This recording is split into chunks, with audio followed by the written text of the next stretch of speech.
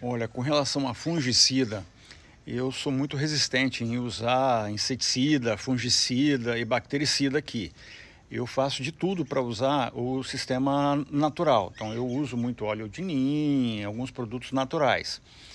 Eu tenho aqui é o Casumim, que é um fungicida bactericida sistêmico, que quando eu tenho uma planta especial, que eu já fiz todos os trabalhos de corte, de retirada das partes doentes, e a planta ainda continua com a doença, com a presença da doença, aí eu preparo uma solução com esse casumim, boto todos os equipamentos de segurança e aplico nesta planta.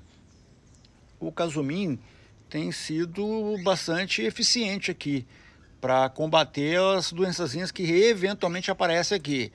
Mas para evitar, é, é preferível evitar a entrada desses fungos nas nossas plantas e bactérias do que depois tratar.